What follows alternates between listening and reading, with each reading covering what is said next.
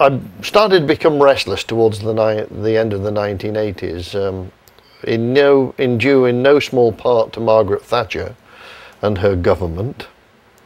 So, in, in, a, in a sense, I can, you can blame the fact that I came to, to IRRI on, on Margaret Thatcher.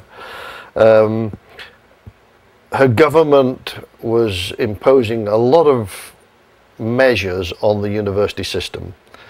Uh, and I was getting very uncomfortable with this, and I, I, started to question my role within the university system. I enjoyed the teaching, um, but advancement within the um, within the university system didn't necessarily take into account one's complete contributions. I mean, your research was paramount, and yet you're expected to do all this teaching, which I was doing. Um, and uh, so when the opportunity came, one day out of the blue, uh, an, an, advertisement landed on my desk. I don't know who it came from, friend or foe. And it was for the position of the head of what was then called the Rice Genetic Resources Centre at, uh, at IRRI. So I, I put in an application. That would be around about September or so 1990.